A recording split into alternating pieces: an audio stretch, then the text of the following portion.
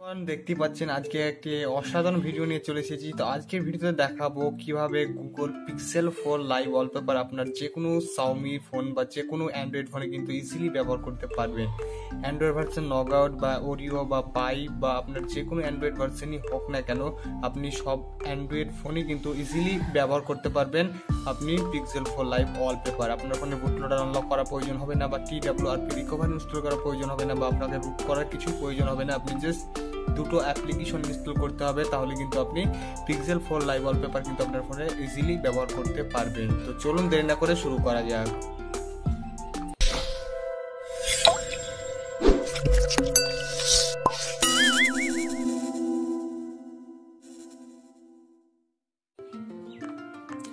তো ফার্স্টে আমি ফাইল ম্যানেজারটা ওপেন করে দেবো। ফাইল ম্যানেজার ওপেন করার পর জাস্ট আমি স্টোরেজের মধ্যে চলে যাব এখানে যাওয়ার পর। নিচের দিকে দেখছেন একটি ওয়ালপেপার পিক্সেল ওয়ালপেপার তো জাস্ট এই ওয়ালপেপারটা আপনাকে জাস্ট ম্যানুয়ালি ইনস্টল করে নিতে হবে। তো আমি অলরেডি ইনস্টল করা আছে, আমার সেখানে আপডেট শো করছে।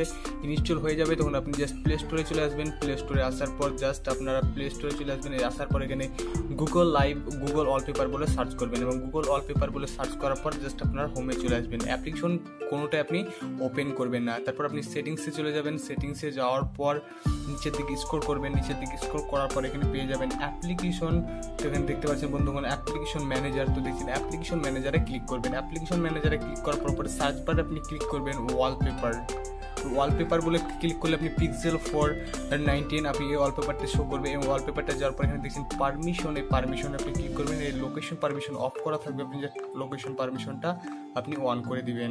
অন করার পর জাস্ট আপনি ব্যাকে চলে আসবেন ব্যাকে আসার পর ওয়ালপেপারে ক্লিক করবেন ওয়ালপেপারে ক্লিক করার পর অপশন দেখবেন এই পারমিশনে আপনি স্টোরেজের পারমিশনটা অন করে দিবেন এবং জাস্ট আপনি হোমে চলে আসবেন। তো বন্ধুগণ, আমি এটা রেডমি সেভেনে দেখাচ্ছি, আপনার বা রেডমি নোট ফাইভ বা ফাইভ প্লাস আপনি যে কোনো ডিভাইসে কিন্তু এটা ব্যবহার করতে পারবেন। তো জাস্ট আমরা ওয়ালপেপার অ্যাপ্লিকেশন দেখছেন, এই ওয়ালপেপার অ্যাপ্লিকেশনটি এখন রান করাবো, অর্থাৎ ওপেন করব। জাস্ট নিচের দিকে স্কোর করবেন, নিচের দিকে স্কোর করলে এখানে পেয়ে যাবেন লাইভ ওয়ালপেপার তো এখানে দেখছেন লাইভ ওয়ালপেপার তো জাস্ট লাইভ ওয়ালপেপারে ক্লিক করবেন এবং লাইভ ওয়ালপেপার অনেকগুলো দেখতে পারবেন আপনার। অনেক ক্যাটাগরির ওয়ালপেপারগুলো সেগুলো আপনি ইজিলি এখান থেকে ইনস্টল করে সরি এখান থেকে অ্যাপ্লাই করে দিতে পারবেন। তো সেটে ক্লিক করবেন এবং হোম স্ক্রিন এবং লক স্ক্রিন জাস্ট আমি হোম স্ক্রিনে সেট করে দেখাচ্ছি দেখছেন? হোম স্ক্রিনে আমরা পিক্সেল ওয়ালপেপারটা কিন্তু অ্যানিমেশন শো করছে। তো আপনি জাস্ট এখান থেকে আপনি অন্যগুলো চেঞ্জ করতে পারবেন। তো জাস্ট আবার নিচে দিকে স্কোর করবেন বা ওয়ালপেপারে ক্লিক করবেন। ওয়ালপেপারে ক্লিক করার পর এখানে অনেক ওয়ালপেপার পেয়ে যাবেন। তো সুইজারল্যান্ডের দেখছেন একটি ওয়ালপেপার পেয়ে যাবেন। তো জাস্ট আপনারা চাইলে এই ওয়ালপেপারটাও সেট করতে পারবেন। তো দেখছেন?